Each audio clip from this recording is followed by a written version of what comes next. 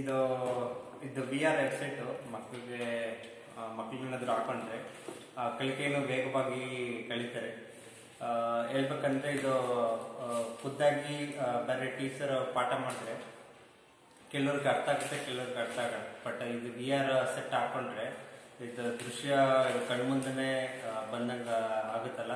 So ಅದರಿಂದ ಪ್ರಭಾವ ಜಾಸ್ತಿ ಬೀಳುತ್ತೆ ಮಕ್ಕಳ ಮೇಲೆ. ಸೊ ಇದು ಪಾಸಿಟಿವ್ ಇಂಪ್ಯಾಕ್ಟ್ ಹೇಳ್ಬೋದು. ಬಟ್ ಇದ್ರ ಇದ್ರ ಬಗ್ಗೆ ನೆಗೆಟಿವ್ ಇಂಪ್ಯಾಕ್ಟ್ ಹೇಳ್ಬೇಕಂತಂದ್ರೆ ಇದು ಜಾಸ್ತಿ ಉಪಯೋಗಿಸ್ಬಾರ್ದು ಅಂತನೂ ಹಂಗನ್ಸುತ್ತೆ. ಸೊ ಲಿಮಿಟೆಡ್ ಎಕ್ಸ್ಪೋಷರ್ ಇದ್ರೆ ಚಂದ. ಈಗ ಫಾರ್ ಎಕ್ಸಾಂಪಲ್ ಈಗ ಸ್ಕೂಲ್ ಅವರ್ಸ್ ಅಲ್ಲಿ ಒಂದು ಎಂಟು ಅವರ್ ಪಾಠ ಇದ್ರೆ, ಇದರಲ್ಲಿ ಈಗ ಕೆಲವು ಸೈನ್ಸ್ ಎಕ್ಸ್ಪೆರಿಮೆಂಟ್ಸ್ ಒನ್ ಅವರ್ ಬೇಕಾದ್ರೆ ಉಪಯೋಗಿಸಬಹುದು ಪೂರ ಎಂಟು ಅವರ್ ಉಪಯೋಗಿಸಂಗಿದ್ರೆ ನಾಟ್ ರೆಕಮೆಂಡೆಡ್ ಡೆಫಿನೆಟ್ಲಿ ಇದು hundred hundred percent positive impact ಇದೆ.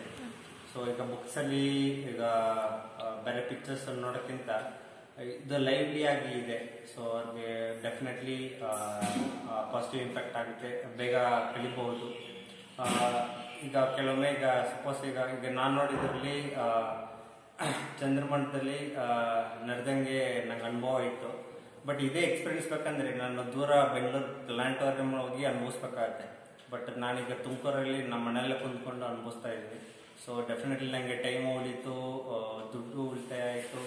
ಸೊ ನನಗೆ ಜಾಸ್ತಿ ಲಾಭ ಇದೆ. ಸೊ ಮಕ್ಕಳಿಗೆ ಇನ್ನೂ ಜಾಸ್ತಿ ಲಾಭ ಆಗುತ್ತೆ. Thank you